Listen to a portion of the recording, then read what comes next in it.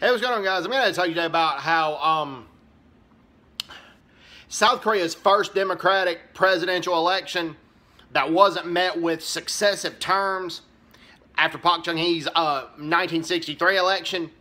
Um, it wasn't met with, with any fraud in future elections. Um, happened in 1987. Let me explain, okay? On paper, South Korea's first democratic presidential election either happens in 1987 or 1992.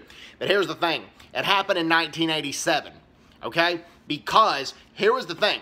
No Tae-woo was South Korea's first democratically elected president. Now, if I was old enough to vote during that election, I would have voted for Kim Young-sam. Okay? What happened was uh, Kim, there were three candidates, okay? No Tae-woo, Kim Young-sam, and Kim Dae-jung.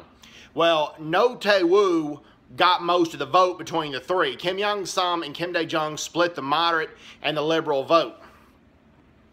So No Tae-woo got the majority of the votes between the three. Of the uh, well, nobody got a clear majority. No Tae-woo got the highest of the three. Now, No Tae-woo was responsible for the Gwangju massacre, and I would have not voted for him during that time. But what I am saying is this, okay? In Chun Doo-hwan's uh, reign of terror, the economy grew rapidly and investments were at an all-time high. Should uh, Chun Doo-hwan ever been president? No. Okay? I mean, it. the only way, though, the only way the U.S. The U.S. did all they could do at that time. Let me explain. They allowed Chun Doo-hwan to be president for, they allowed Chun Doo-hwan to be president from 1980 to 1987. And Chun Doo-hwan said if that happened, he would not acquire, try to acquire nuclear weapons for South Korea. And in Chun Doo-hwan's hands, that would have been disastrous because he was a right-wing, like a far-right nut job.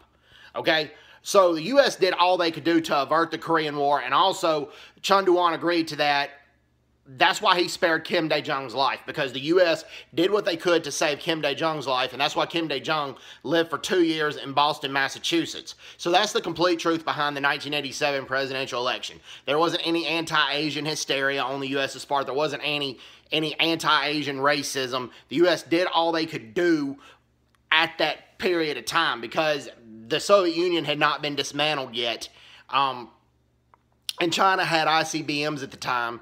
Uh, it was just the U.S. had a very difficult situation, and to keep Kim Dae Jung alive, Pre Jimmy Carter and Ronald Reagan worked together.